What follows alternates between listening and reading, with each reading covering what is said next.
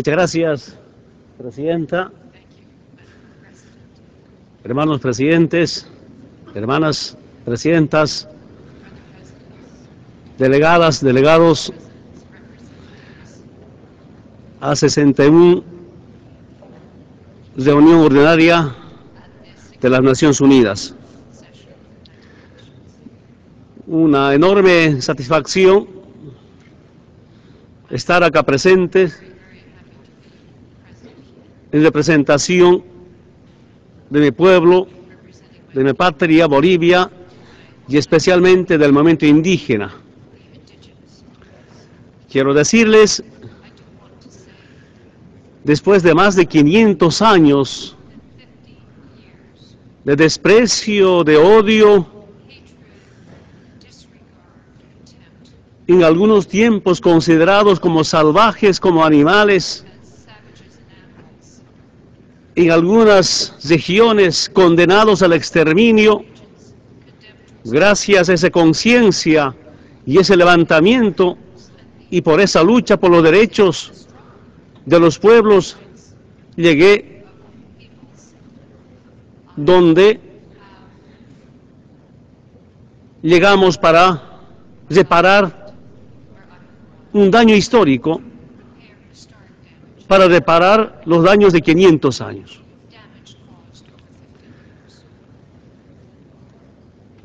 Durante la República, igualmente discriminados, marginados,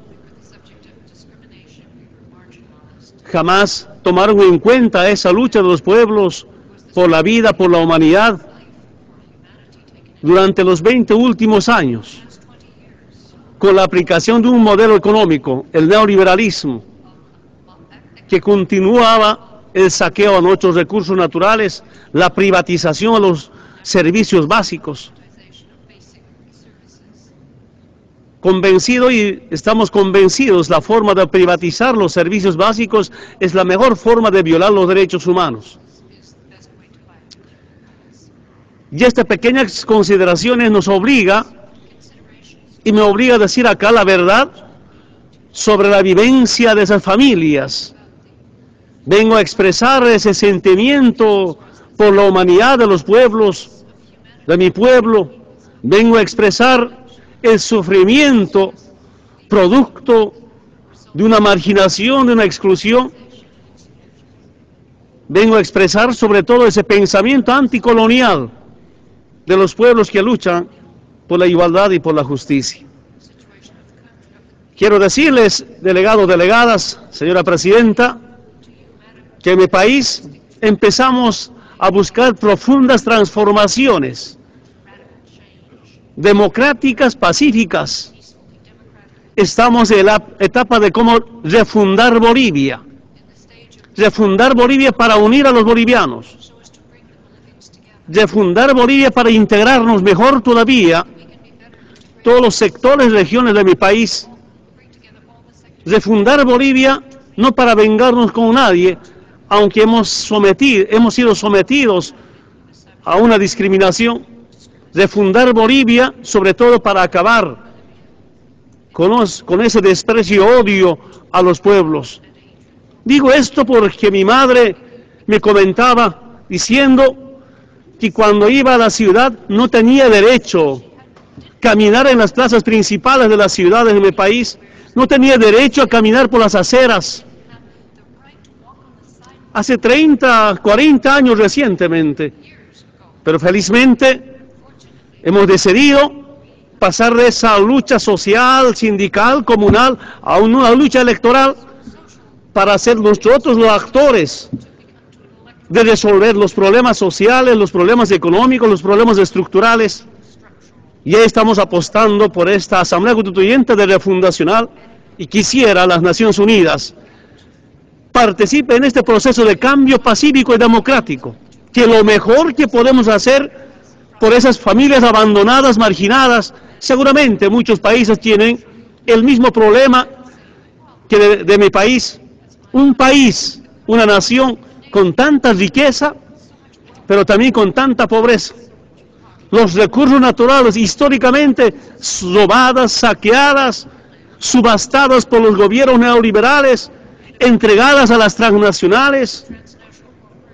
Y llegó la hora, ahora, a la cabeza de esa lucha los pueblos por el poder del territorio, recuperar, recuperar esos recursos naturales para el Estado boliviano bajo el control de los pueblos. Y cuando hablamos de recuperar nuestros recursos naturales, bajo esa campaña sucia de acusaciones nos dicen que el gobierno de Evo Morales no va a respetar la propiedad privada. Quiero decirles, en mi gobierno se respetará la propiedad privada.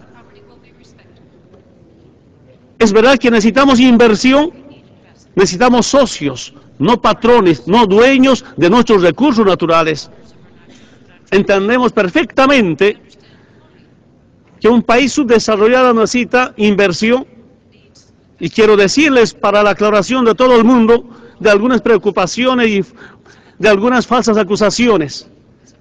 Si el Estado boliviano ejerce el derecho de propiedad de un recurso natural como es el gas natural, los hidrocarburos, el petróleo, pues no expulsamos a nadie, no confiscamos a nadie. Se respetará, pero sí, sí garantizará que recuperen su inversión y que tengan derecho a ganar, pero no ganarán como antes, de lo grueso, para después no resolver los problemas sociales en el país. Quiero decirles, dentro de ese marco, no vengo a decirles, gobiernan así o amenazar a un país o empezar con, los condicionamientos de un país.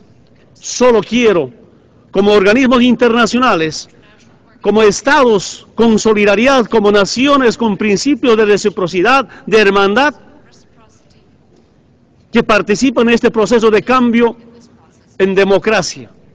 Tenemos muchas ganas, mucho interés que haya conciencia de esta clase de foros internacionales, de reuniones internacionales, como las Naciones Unidas, de aportar, de apostar cómo cambiar pacíficamente.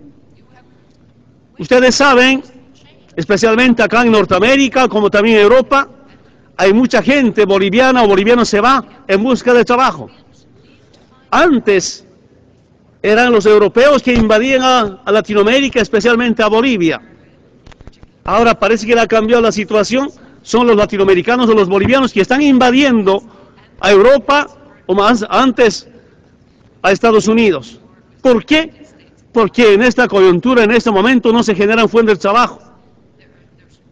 Quiero decirles que queremos apostar de un comercio justo, un comercio de los pueblos para los pueblos, un comercio que resuelva el problema de fuente de trabajo.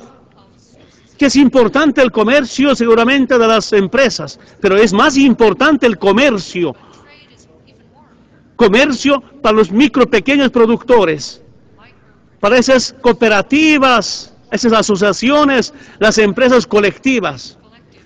Quisiera, y es el deseo que tenemos en vez de que mis hermanas y hermanos lleguen a Europa, que mejor lleguen productos y no seres humanos.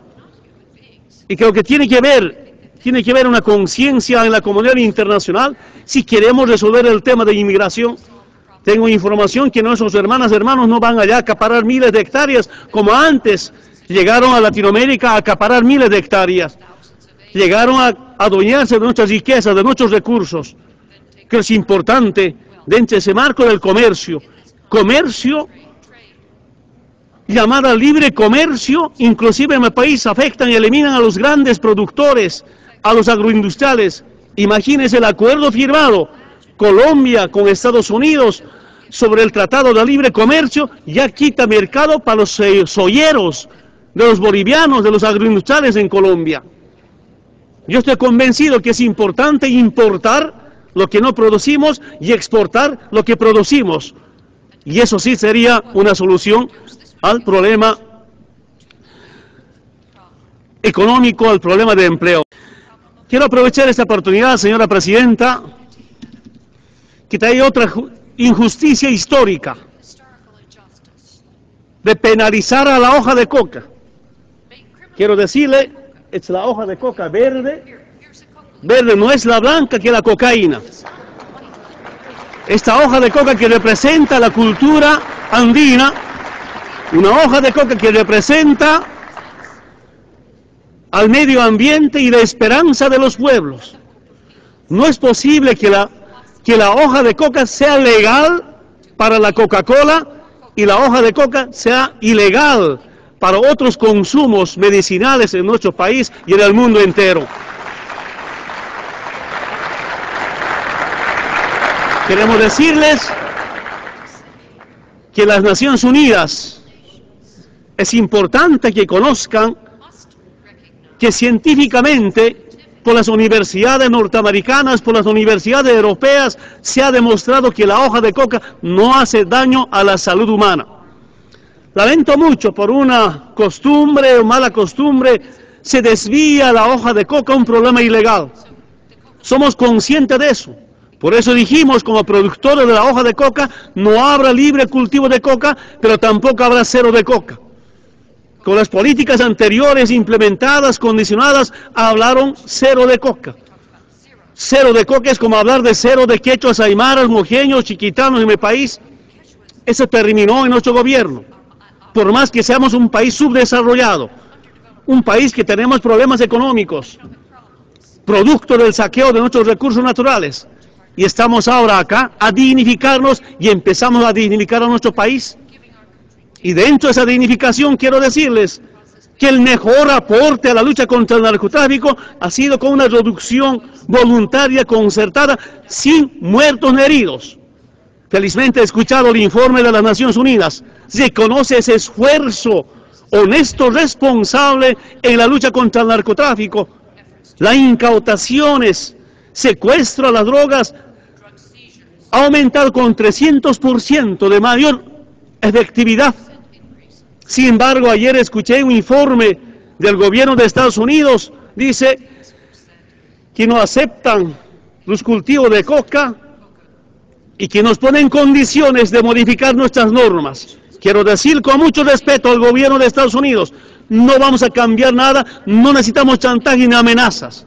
Las llamadas, las llamadas certificación o desertificación de la lucha contra el narcotráfico simplemente es un instrumento de recolonización o colonización a los países andinos. Eso no aceptamos y eso no permitimos.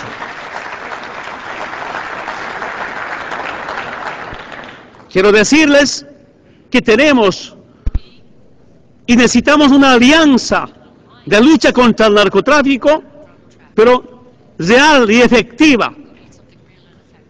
Que la guerra a las drogas no puede ser un instrumento, un pretexto para que sometan a países de la región andina, así como inventaron guerras preventivas para intervenir en algunos países en el Medio Oriente.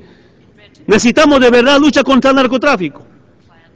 Y convoca a las Naciones Unidas, invita al gobierno de Estados Unidos de hacer un acuerdo, una alianza efectiva de lucha contra el narcotráfico y no que se excusa o pretexto la guerra a las drogas para dominarnos o para humillarnos o para tratar de sentar bases militares en nuestro país sobre pretexto de lucha contra el narcotráfico.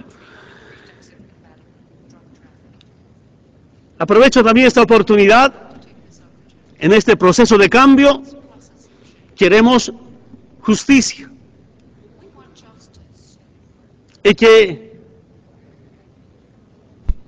haya justicia es importante para nuestros pueblos. Pero siento que mediante la Asamblea Constituyente se va a descolorizar el derecho para nacionalizar la justicia, la verdadera justicia. Que la gente implicada en la violación de los derechos humanos, pueblos amenazados con intervenciones militares, que ahí jamás habrá justicia. Estamos obligados como presidentes, como jefe de Estado, a cómo dignificar a la humanidad, acabando con la impunidad. Y en los gobiernos anteriores de mi país, masacres a la gente que lucha por sus reivindicaciones económicas, por sus recursos naturales. Y no es posible genocidas, criminales, corruptos, se escapen para vivir en Estados Unidos. A un país desarrollado como Estados Unidos, pido con mucho respeto expulsar a esos genocidas, criminales, corruptos que vienen a vivir acá. Si no tienen nada que ver, ¿por qué no se defienden en la justicia boliviana? Tengo la obligación como presidente de que estas autoridades sean juzgados en la justicia boliviana. Y creo que ningún país, ningún jefe de Estado puede proteger, encubrir a los delincuentes, a los genocidas. Ojalá, con el apoyo del pueblo norteamericano, ojalá con los, mediante los organismos internacionales se juzgue, se, se juzga a la gente que ha hecho tanto daño económico en los derechos humanos.